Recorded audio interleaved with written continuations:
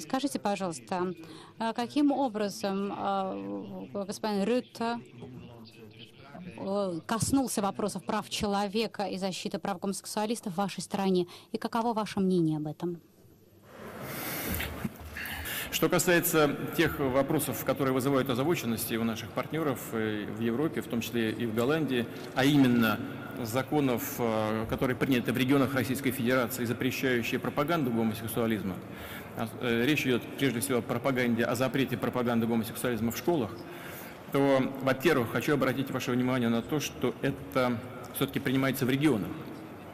И это говорит о настрое самого российского общества. Это никак не провоцируется из федерального центра. Но имея в виду такой настрой общества, мы, думаю, что должны учитывать. Если мы говорим о либерализме, говорим о демократии, нужно э, с уважением относиться друг к другу, в том числе и на международной арене. Но согласимся с вами в том, что э, все-таки однополые браки детей не производят на свет.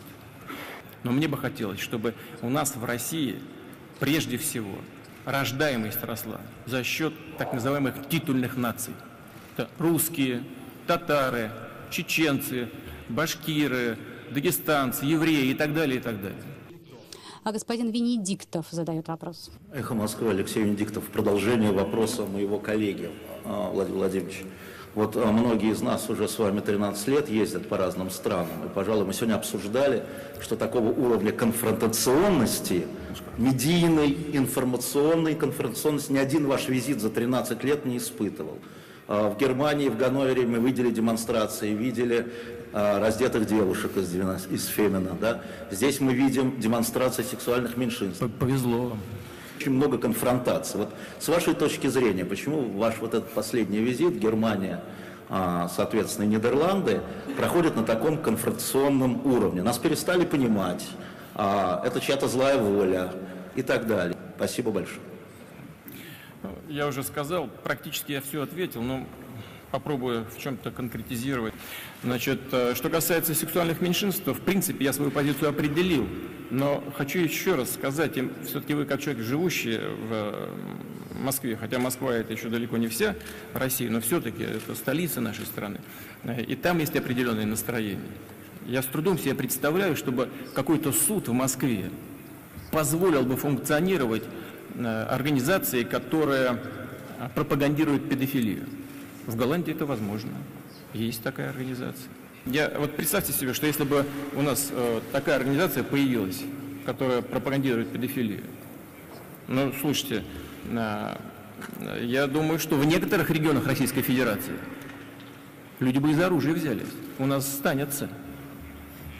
То же касается и, и, и э, то же касается и э, э, сексуальных меньшинств. Э, ну, в общем, Э, слава богу, что гомосексуалисты здесь не разделись.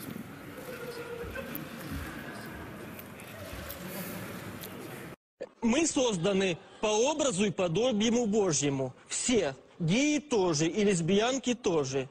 И э, сексуальность каждого человека, неважно какова она, является бесценным даром от Бога.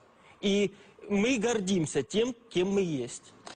Это иконы, ага, это, это святые, это гомосексуальные святые, ЛГБТ святые. Вот, э, к примеру, есть э, среди святых, как в православной, так и в католической церкви, так и в других есть очень много геев также и лесбиянок. Вот, к примеру, этот остановимся. Святые Полиет и Нектарий. Они оба римские воины э, в Армении когда казнили, обезглавили его возлюбленного, его любимый вышел на центральную площадь, это в Армении происходило. Память о них 13 февраля по Григорианскому календарю. Празднование в православной и армянской церкви 9 января.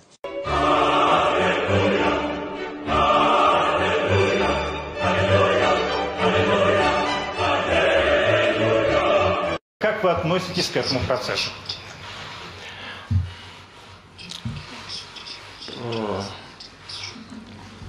Вы слушайте, достали меня с этими однополыми.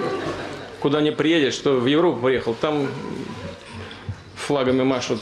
Сюда приехал, вы опять приставите ко. Вообще никак.